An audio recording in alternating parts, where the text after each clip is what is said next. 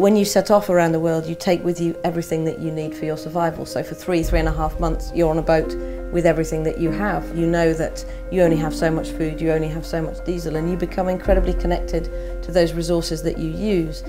And as you watch those resources go down, you realise just what finite means. Because in the Southern Ocean, you're two and a half thousand miles away from the nearest town, there, there is no more. You can't stop and collect more. And I'd never made that translation to anything other than sailing. Suddenly I realised our global economy is no different. It's powered on resources which are ultimately finite. And I suddenly realised that there was a much greater challenge out there than sailing around the world, which was in fact trying to find a global economy that could function in the long term.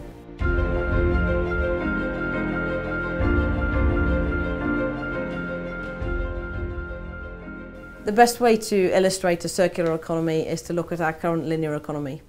Our economy today is predominantly um, driven through taking a material out of the ground, making something out of it, and ultimately that material, that product gets thrown away. Within a circular economy, from the outset, you design the economy to be regenerative. So you design a car for remanufacture, you design a car for disassembly, for decomponentization. So the materials that sit within the global economy that currently flow at the, off the end of the conveyor belt can go back in, which involves everything from different financing of those products and materials to different business models, through do we sell, do, do people pay per use for those materials. If you can understand what a circular economy is, if you set that as the goal, then you know that every decision that you make within your business can take you one stage closer to that point. That's very much like sailing, because in sailing it's not just the speed of the boat, it's the construction of the boat. It's whether you've got everything in the first aid kit, it's the weather the boat's sitting in, is it the water the boat's sitting in, what's happening to the water, what's happening to the icebergs, what's happening to the weather, what effects that having on everything else. You have to look at the big picture because the moment you focus on the immediate, it's all over.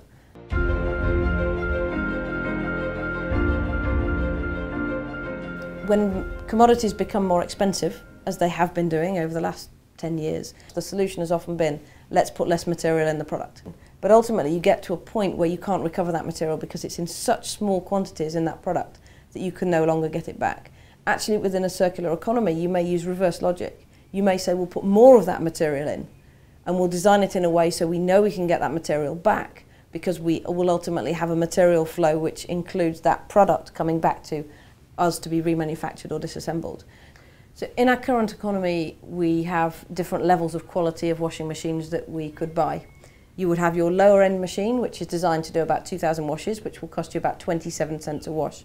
Your high-end machine, which evidently costs more to buy up front, with more research and development, more materials within it, that will cost you 12 cents a wash.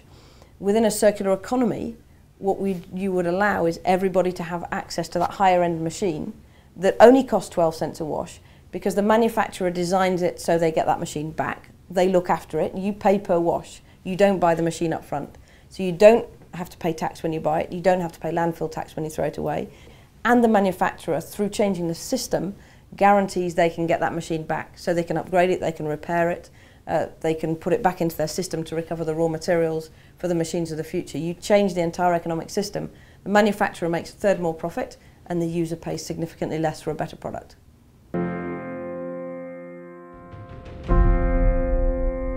Obviously our goal at the foundation is to accelerate the transition towards a circular economy. So we've put short-term goals within that, such as building a program for 100 companies, including regions and emerging innovators, to start to unlock the opportunity of the circular economy through collaboration, through working together, through looking at legislation. I think there's a massive opportunity for emerging markets in this space. And to think that you have the opportunity to lock into a circular model rather than a linear model, that's a, that's a huge economic opportunity. To think that users of those products can have a better product at less, for less money, that product can ultimately re return creating employment in the remanufacturing or the decomponentization of the product. And then ultimately the manufacturer makes more money because they know they get that component back. That for an emerging market is incredible. It allows them to leapfrog our system and gain even more advantage.